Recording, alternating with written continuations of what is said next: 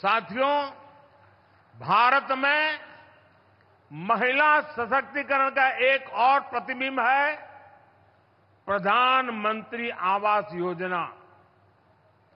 इस योजना के कारण छोटे से छोटे गाँव में भी अब संपत्ति महिलाओं के नाम होने लगी है।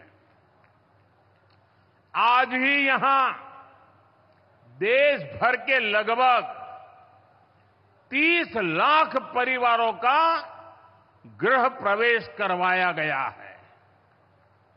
अभी तीसरे कार्यकाल में हमारी सरकार के कुछ महीने ही हुए हैं।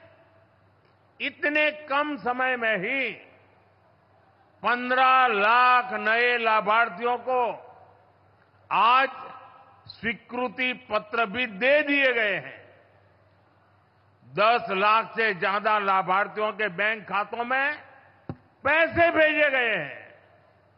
ये शुभ काम भी हमने उड़ीसा की महाप्रभु की इस पवित्र धरती से किया है। और इसमें बड़ी संख्या में मेरे ओडिशा के गरीब परिवार भी शामिल हैं।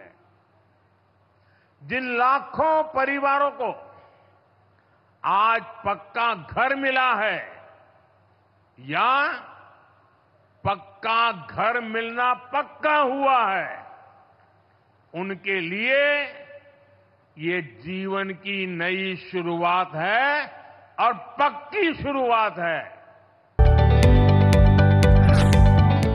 जदि आपंक आम भिडी भल लगा तेब आम चेल्क को लाइक सेयार और सब्सक्राइब करने को जमा भी भूलु